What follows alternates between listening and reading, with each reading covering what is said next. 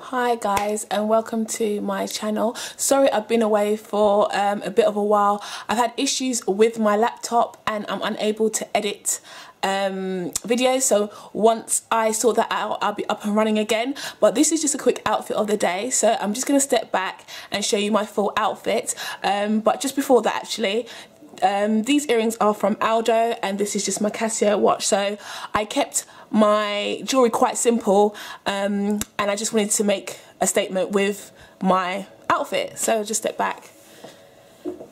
So yeah this is the outfit. This um, is a top um, from Primark which was 250 my skirt was from Primark and this top is from Dorothy Perkins and I do have some court shoes from Zara that I bought in the sale um, last year and that's in um, one of my hauls if you want to check that out. So I'll just step back and this is the full view guys. So yeah, but please bear with me guys and I hope to see you guys soon. Take care. Bye.